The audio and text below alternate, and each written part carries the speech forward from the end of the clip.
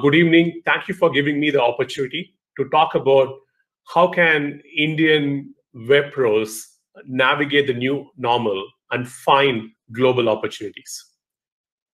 What a crazy year we all had. And um, it's just, I can't believe that 2020 is almost getting over. And we had to learn quite a bit. We had tough times both in our life and our uh, in our business. But even though things were tough, we believe there are uh, opportunities which got opened up for uh, Indian web pros, which, which could potentially uh, reach out to the global markets. Over the next 20 minutes, I'll talk about what are some of the uh, key trends which is driving digitization of Indian SMBs and the, the experience Indian uh, web pros have with the Indian SMBs has created global opportunities for the Indian uh, web pros. And then what are some of the uh, key um, playbooks which the web pros have to deploy to be successful in the global market? So those are things I will I'll uh, focus on. Uh, most of you would not have heard about uh, Zinnov. So I will start with uh, explaining a little bit about Zinnov. So we are a management consulting firm. We have been around for the last uh, 18 years. We help large global companies establish their engineering and innovation presence across the globe as well as help them expand in global markets uh, for both their products and services. We also work with uh, technology services companies in helping them with their global growth strategy, M&A, as well as help them uh, with market visibility for their solutions and offerings. And we have about 400 consultants, and every year we actively engage with over 200 customers. Getting into some of the trends, um, last year was hugely disruptive for the SMB market across the globe, more so in India. And we can see that in the number of SMBs who are uh, registered to uh, GST. Many of them uh, turn uh, were not able to be compliant this year. In fact, we see the number of GST compliant SMBs to go, go down to about 12 million in this year. However, there are a lot of positive trends around digitization, right? One is uh, the total UPI transactions have grown from 12 billion to 16 billion. You have a very easy to use, highly secure um, payment system which is connected to your phone number and your bank account. Uh, that made um, made the SMBs use UPI to transact in various kind of uh, mo mobile platforms. Um, and the SMB uh, using aggregated platform for discovery also significantly increased uh, from 12 million to about 18 million you're using aggregators such as Amazon, Flipkart, and others. SMBs also um, have used the smartphone uh, effectively as a, as a window to the internet. And from just you, a million SMBs using channels like WhatsApp, we have seen about 15 million, pretty much every Kirana store, what you and I buy your products, are able to use WhatsApp, um, not only just to showcase the product catalog, and engage with us, but also transact on the platform uh, to be able to come um, and then uh, enable us in the last mile delivery. Right. So it's, it's been a very um, uh, interesting uh, time for the SMBs to really digitize and use some of these platforms. And all of this would not have happened without uh, Jio being such a foundational uh, enabler for organizations so that they can, they, it increased uh, the overall uh, availability of mobile internet also reduced overall cost, made it available for millions of SMBs to um, to engage uh, customers as well as transact and deliver the products and services completely online. So overall, even though it was a tough time for the SMBs, the digitization has accelerated. And if you step back and then see how some of these companies have gone through the overall digitization journey, I can go back and look at stage one, and we have kind of defined this as just five stages. The initial stage is all about discovery, right? Well, we had company like Dial, which came in. They had India Mart, who had um, thousands, literally thousands of foot soldiers who went and signed up um, as these SMBs, very basic information of the, about the SMBs on their uh, listing sites. And SMB didn't have to have a lot of digital capability to be part of these um, uh, these platforms. However, as the number of listings increase, um, the value from the listings reduced, and the SMBs are able to get some value by doing paid listing. Um, but the value started diminishing. uh, at that time, you start to see Amazon, Flipkart, and other uh, e-commerce platform which are coming in, aggregator platform which are coming in. The SMB started using this platform not just for discovery, but also enable the transaction and sell their products uh, on these platforms. And then you saw the wave of social media, you know, Facebook, uh, Instagram, WhatsApp, and all of that uh, came in. So SMB started creating their presence on Facebook.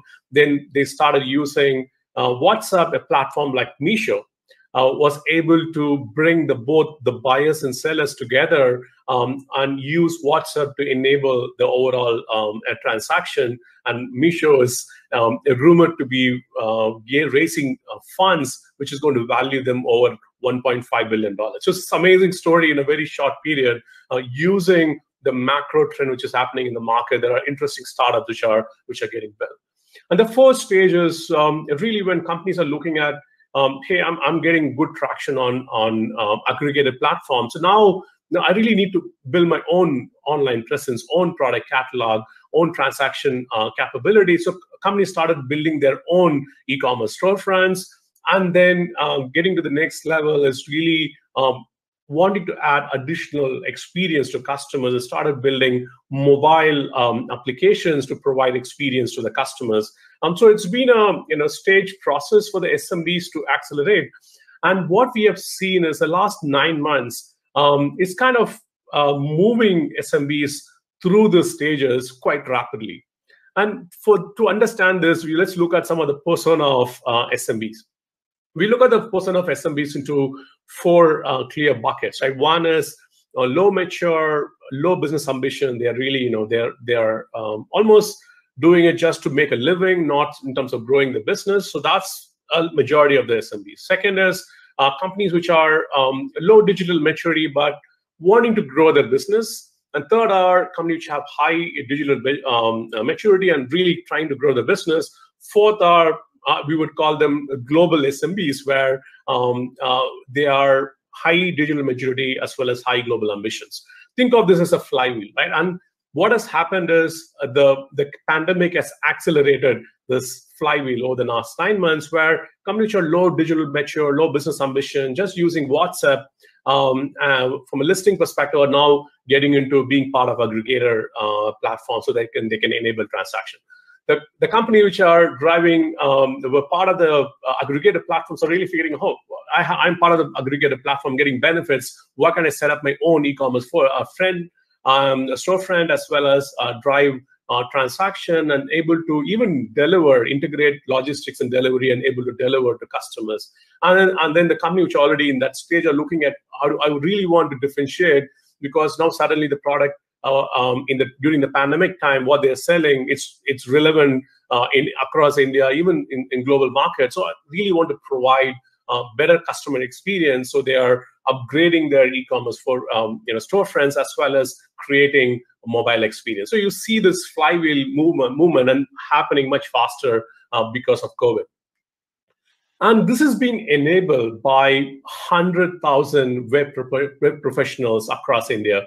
And you look at web professionals, uh, we categorize them into four types of web professionals. One are uh, website developers and hosters. So these are um, the company which build websites for small business and maybe sell attached services like uh, email and hosting along with that.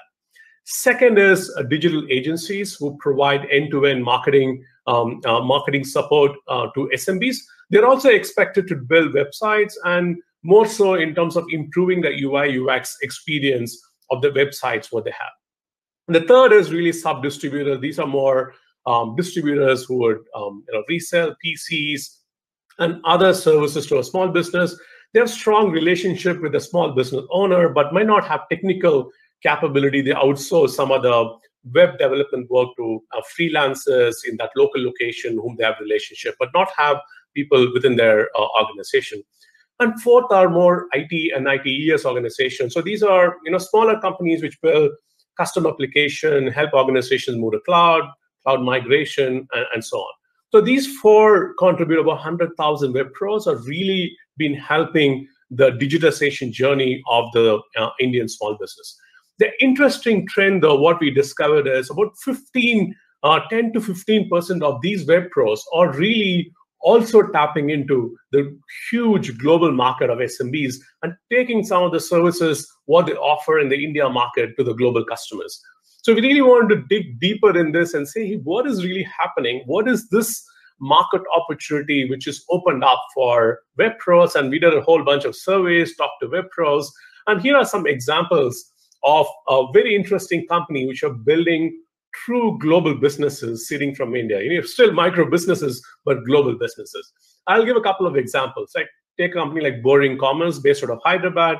Have presence in London, New York, Dubai, Singapore, just 50 employees. Um, they've been, in fact, able to um, help about 100 plus um, SMBs manage their e-commerce storefronts, also help them with inventory management, integration with logistics and support. And what what they told us is um, the there is the demand is significantly increased, three to uh, five times increase in demand for organization wanting to build complete e-commerce for uh, uh, storefronts. Uh, their global customers wanting to uh, grow that. So, so they're seeing interesting traction. Then there's another company I want to talk about is Curious Technology, started by a, a freelancer about eight years ago. And seven years ago, they started working with global uh, SMBs, help them with website development, maybe manage some content, manage, uh, help them with um, some of the digital agency, digital marketing, uh, marketing work. The company has been steadily able to grow and today have revenue uh, anywhere between uh, 50 lakhs to 1 crore, right? Um, think of a company which is uh, started by a freelancer in Udaipur, able to really a tier two city in India, able to build and service global customers. So when based on this, in the, based on uh, talking to a lot of these web pros, we really want to understand what are these um, macro trends which is enabling the Indian web pros to work with global customers. And we came up with you know five um, uh, key trends which is helping them drive. One is COVID has really created a level playing field. So if you're a customer, let's say you are a customer in IHOP um, uh, or uh, in New York City, you are not going out to meet your vendors. So for if it doesn't matter your vendor, your a web pro is based in India, a web pro is based in Israel, a web pro is based in New York, because all of this is remote. So that has created a level playing field for uh, Indian web pros. Second is um, we talked about the digital savvy um, high growth, high ambitious uh, small business, that's about 2 million. A lot of the Indian web pros actually work with those 2 million SMBs in India. And these SMBs behave like a global uh, SMB. So experience Indian web pros have with these 2 million SMBs is helping them build the right set of solutions and offering for the global SMBs. And the third part is um, the rapidly growing um, startup ecosystem in India. We have over 9,000 plus startups.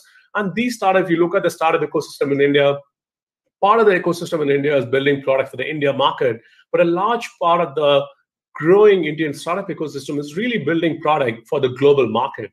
So company, if you look at company like Freshworks, ChargeBee, they've mastered the way in which you can drive go-to-market using thought leadership, SEO, SEM, freemium based business model to tap into global customers. So that is really a key learning which the web pros are able to observe and use in the way they sell and acquire customers. And fourth is in terms of um, the overall ecosystem, right? So you, a lot of the Indian uh, uh Indian web pros work with Endurance, they work with Google, they work with Cisco, they work with Microsoft. These are global platform companies, and the fact that they, they know, they understand these platforms they're working on these platforms, and these platforms become channel for them to expose their solutions and their services to global customers who are leveraging these platforms. And finally, um, the the IT and uh, ITES industry in India has created several uh, unicorns already over the last 20 years, and they've created a strong brand and for the Indian IT services capability in the global market. And they also really cracked how to sell and deliver a uh, great customer experience uh, from India. So a lot of the web pros are able to understand that they hire uh, engineers from these IT services company. They're able to understand how to service these global customers. So a convergence of these five trends is enabling the Indian web pros to really focus on global markets. And we really analyzed the different opportunities these companies have. So we are able to come up with five distinct opportunities. A combination of that will be uh, over $2 billion of addressable opportunity for Indian web pros. And these are, and I'll go into a little bit detail as we go through this, but um, uh, to, to name them, it's cloud-enabled operations. Second is integrated e-commerce. Third is digital email marketing. Fourth is process automation. And fifth is securing the SMB operation. So let's spend um, some time on each of these uh, areas. The first one is cloud-enabled operation. The, the pandemic really um, proved to the SMBs that um, cloud is will really help them in improving the overall business continuity as well as um, helping them in enabling collaboration remotely with their employees, partners, as well as their customers. And um, there has been a significant amount of innovation on the cloud platforms over the last nine months. You have deep discounts provided by the large, uh, large platform vendors, as well as ease of maintenance, has definitely created significant need among the global SMBs around enabling on cloud. And if you look at some of the use cases they're looking for, they're really looking for how do I move my existing on-prem applications onto the cloud? That will include data migration, cloud native application development and integration. They're also looking at how do I move some of my Excel based systems into the SaaS application, which will include you know, a lot of migration, as well as some of the newer applications, be it deploying Microsoft Teams, Zoom, and other collaboration uh, infrastructure that allows them to um, to interact with their internal teams as well as their external partners, and not just interact. These tools are, can also be used as a development platform for their internal employees. And the supply, there has been a significant amount of supply side investments. You saw Salesforce acquiring Slack at $27 billion. You have Microsoft create back to business suite to enable um, SMBs to you know, continue the business effectively. Uh, AWS started certifying individual ISV solutions rather than the overall uh, ISV brand itself. Then we can see um, the web pros talk about a significant amount of traction from customers in helping them um, migrate their existing applications as well as build cloud native um, and mobile native applications. So this is a massive opportunity, about 300 to 400 million dollars.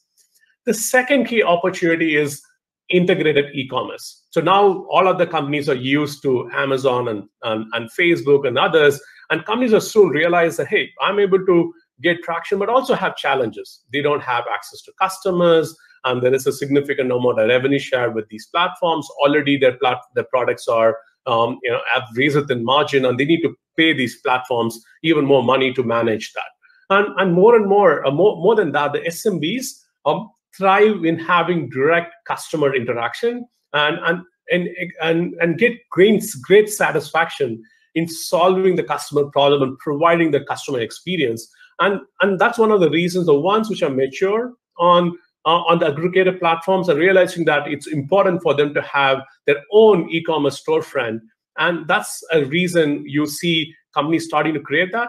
The second part they've also realized is um, they don't have to restrict to the set of customers which are closer to them in a, in a physical context. Now they can sell customers who have the need for the product they are selling or a service they are selling. Um, this, the customer could be global. So how do i now use uh, integrated e-commerce capability to be able to sell discover and sell, transact with customers across the globe. Across the globe. So here, the, the key use cases are how do I build um, easy to use uh, e-commerce site? How do I easy manage the e-commerce site in a in a in a easy at a low cost a low cost a low cost manner? Then how do I enable the e-commerce site to have frictionless capability to transact the customers across the world, uh, whichever location they are in? They should be able to use whichever uh, model they're comfortable in terms of um, uh, engaging and transacting with the company, and also integrating logistics, a last mile connectivity at each of this location um, uh, to make it seamless for delivering the products to the customer wherever the customers are. And you're starting to see significant investment on the supply side. Endurance bought a company, Ecom Dash, uh, for $10 million. The company helps with integrated inventory management, um, as well as omni-channel market uh, market presence for um, uh, for the SMBs. Also, you have see um, FB shops. Um, it's, it's starting to focus on getting about 90 million SMBs online. And when we talk to web pros, there's been interesting stories. We have uh, Boring Commerce has built 100 plus e-commerce storefronts for SMB in the last two years, and this is just accelerating.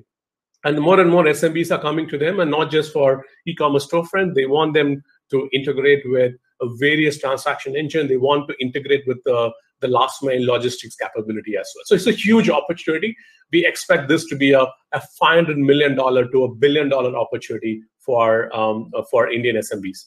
The third is really creating digital presence and marketing. So companies are part of aggregator side and, and they really want to do two things, right? One, they want to be able to articulate their product catalog very clearly and what is that the products and services and update it very clearly.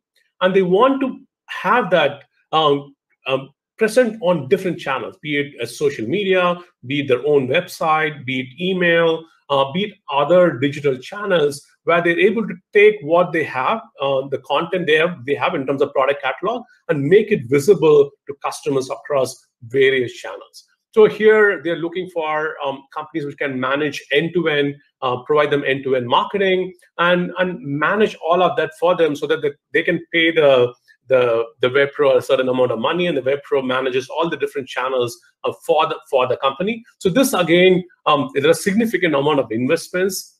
Google is helping SMBs globally with a 350 million dollar spend, and this is something the SMBs could use now or also could use in the future. Uh, you have FB's Guide Initiative, which is helping digitize over 6 million uh, SMBs online. So you, you, you start to see um, you know, significant amount of opportunity here, global opportunity with digital presence.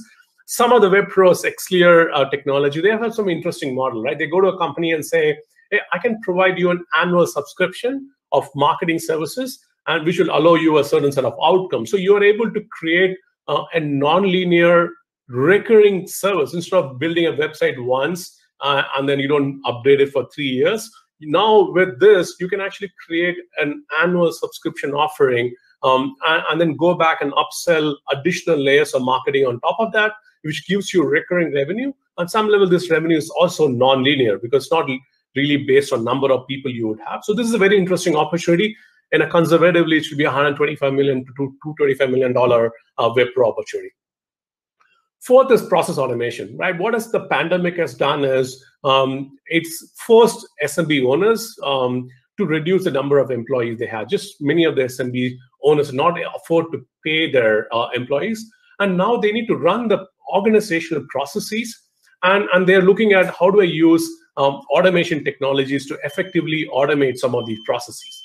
So if you look at, um, at what are the key areas they're looking for help, one is they're looking at automation for for cost optimization. Second, they're looking for automation to help them with business resilience. Third, they're looking for automation to improve customer experience. Are they able to address customer issues in a very short period? And fourth, they're uh, looking at automation uh, to help them with some of the cybersecurity needs. Employees are working from home. Is there a way you can automate and reduce the amount of uh, challenges they would potentially get from you know, security issues, right? So there are several use cases they're looking at. Uh, the largest use cases are customer uh, service, lead generation, order management, F&A processes, onboarding customers, as well as onboarding employees. And you're, you're starting to see some interesting investments. You have uh, companies uh, like Automation Anywhere, Microsoft, spending significant amount of money to train um, train developers on some of these platforms the interesting thing about the automation platforms are these are low code, no code platforms, right? It's very easy to train. Um, uh, you don't need an en engineer with complex Java capability or a Python capability. You can uh, you can easily train somebody who, is, who has who understands logic to quickly build these automation scripts.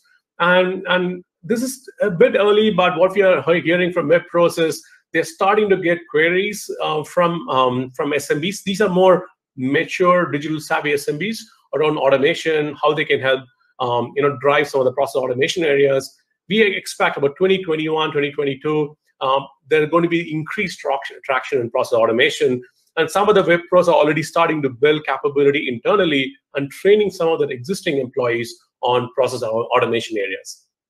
And finally, the fifth key areas in terms of securing the small business operation.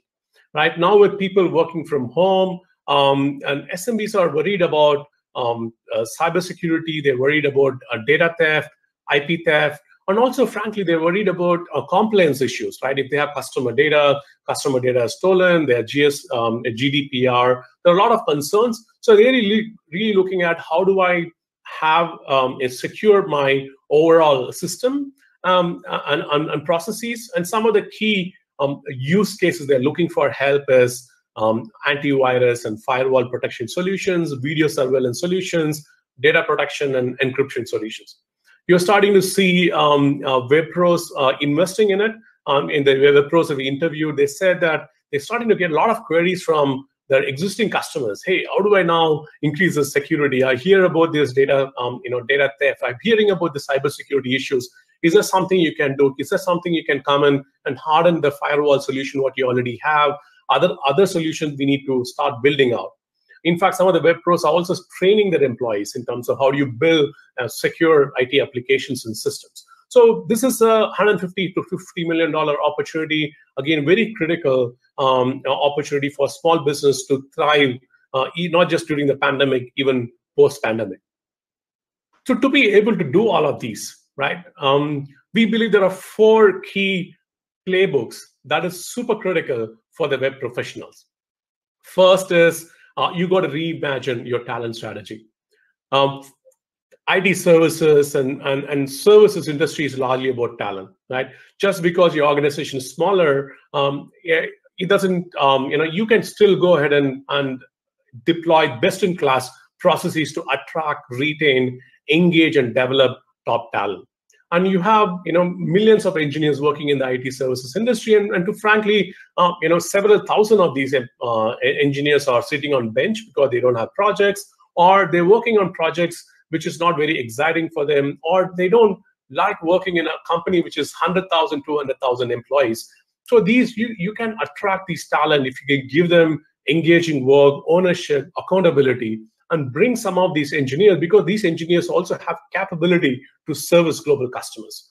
And, and other part is now because work from home it doesn't restrict you to hire only in Udaipur or only in uh, only in Bangalore, only in Mumbai. You can uh, attract talent from wherever in, uh, in India. In fact, you can attract talent wherever they are in the world and have them um, come in with the right expertise to help you service global customers. The second part is you got to follow what you preach your customer, meaning your go-to-market has to be largely digital, right? Uh, in a um, the the big point of companies when they buy uh, IT services is about whether they trust the vendor.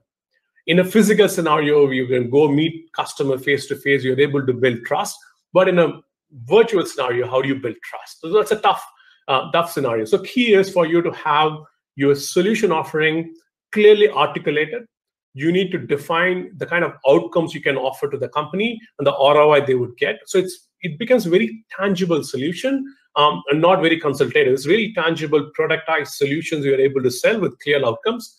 Then you have to um, document your customer case studies, right? You you more customer case study you have, the better trust you'll be able to meet uh, get with new customers build the customer case studies. It could be videos, it could be uh, documents, it could be uh, infographic, all, all kinds of customer uh, referrals.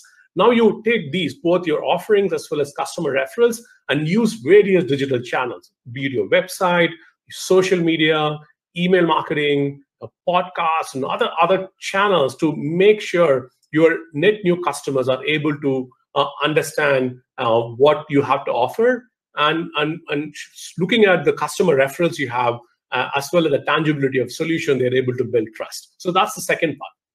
Third is how do you use the strategic platform partnership? If you're working with Endurance, you're working with Microsoft, you're working with Google. So these are global platforms. So how do you now tap into the global platforms and have them as a channel and have your offering on top of their marketplaces so the global customers can discover some of the solutions what we have to offer to them. And finally, global customers is all about quality. right? So you the the in in services, it's easier to get revenue from your existing customer referral rather than you sending a cold call, cold email to try to get business. So how do you provide very high quality service to your customers so that your customer keeps coming back to you for more services? The net promoter score for your organization is very high, and customer willingly and happily um, recommend you to their friends and family so that you are able to build a flywheel of referrals where you, you have strangers, the strangers become prospects, prospects become customers, and customers becomes promoters. You want more and more of your customers to become promoters, and to be able to drive that, you need to provide high quality service um, uh, to, to enable these customers, excite the customers. So those are the four key playbooks, which is important for web professionals to really for, uh, help them grow in the global market. So the, the last year has been you know super challenging for for uh, for all of us, but we believe it has opened the door for Indian web pros really focus on global markets. The companies which have focus, conviction, and the capability as well as persistence will go ahead and win in the global market. Thank you. I can take some questions now. Hi, so we have a few questions coming up. Um, the first question is, what role can web developers and ITAs ecosystem play in helping drive digital maturity of SMBs? I think the first um, key aspect is uh, to help them understand what are other companies doing. SMBs, uh, the the ones who are run by entrepreneurs, they are looking for role models. If you're able to explain with role models of how other companies have benefited, um, and the value they got. And that is going to be uh, number one. Number two is how do you make your offerings very easy to use, easy to consume? Is there a way you can come up with, if you're providing marketing offering, can you come up with the easy to use subscription, annual uh, retainer they can pay you, with which you you will provide them a set of services flexible for the SMBs to use your service on a regular basis. Third is how do you make the website and other solution you're, uh, you're building very easy to use and easy to manage. So these are um, you know three dimensions: create high awareness of role models, uh, easy business models uh, in terms of for them to use your service, and third is easy to use and maintain maintainable software. What you're able to build that really will help you improve the digital maturity of these uh, companies. The second question is: Are there any specific industry verticals you believe the opportunity we highlighted will play a more um, uh, you know a, a larger uh, larger opportunity compared to others the answer is um, you know if you focus on b2c because that's where the impact is right the pandemic had changed how consumers behave the consumer uh, is adopting digital uh, platforms a lot more aggressively so even if you look at a uh, look at a spa for example a spa in the us um, right now, they're looking at how do I engage my consumer um, a lot better because people are not coming in enough. They don't want to lose their loyal customers. Or if you go to a gym, the gym is looking at how do I provide these online classes uh, to these um, you know to these uh, consumers. So wherever, uh, so those are the kind of companies you want to really focus on, uh, which have a sense of urgency to adopt technology uh, early on. In terms of cloud migration kind of offering, you need uh, a slightly larger uh, SMB, probably in the SMBs in the manufacturing sector. We've been using a lot of on-prem software in Excel. Now that they they there are very few people going into the factories and going into the offices, they would like more migration kind of capabilities. So I would say B2C for more majority, and then the second is uh, really focusing on a more mature manufacturing company to the second uh, you know big category. So third is what tools, um, according to you, can help web pros succeed? Um, I think the key um, here, because here um, the, the, important part is you're not able to, for global customers, you're not going to be able to meet your customers. Unlike now, in an Indian customer, you can potentially go and meet. So that you need to be on um, using the set of platforms which can also offer you uh, a marketplace, right? If you're using Endurance and uh, you're on marketplace, you're using Google or Microsoft, you're part of the marketplace, and um, and the tools which you're using is global tools. So it makes it easier for a global SMB to adopt to the kind of technology you have instead of you're using some custom platform uh, on top of which you're building services becomes harder to convince and build trust uh, with the SMBs. The fourth question is how do you grow uh, your visibility? Like I told in my um, talk, uh, the key part for services to build trust and you can't build trust meeting meeting these customers. You got to figure out how to do this um, uh, do this online. The first part is really having very strong uh, content and offering defined value proposition defined and the outcomes and value the ROI customers will get. So having that very clearly defined, having very clear customer case studies, customer videos, and referrals. So these two, I would say, is the assets. And then you use various channels, social media, websites, and other digital channels. You're able to propagate these content through these channels. The second is being part of various um, uh, marketplaces uh, and other aggregator websites where the SMBs are looking for help. And you being present with good reviews will help you gain uh, visibility with the with the customer. So that's like the third question. Uh, fourth one, and then let me see. There is one final question. Yeah, so there's the other one final question is, is the opportunity uh, you highlighted only for India? What are parallel or unique opportunity in the global ecosystem? In fact, the ones we spoke about are more global opportunities, right? So, um, so it's not just just for India. Largely, um, you know, and these are also relevant in India, but largely we, we analyze the global market opportunities. And again, in the global market opportunities in India, the same opportunity be relevant for what we call as more digitally savvy, the two to five million uh, SMBs uh, who are very mature, high aspiration, high digital maturity. So those will behave like the global uh, SMB. So it will be you know relevant for these two uh, sectors. So those are the key questions um, uh, questions I had, and uh, um, so Mina, if there are any other questions, um, I'm happy to answer.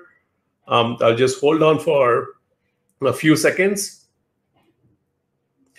Great. So there are no other no other questions. Thanks everyone. Thanks for listening to the session. Um, enjoy the rest of the rest of the evening.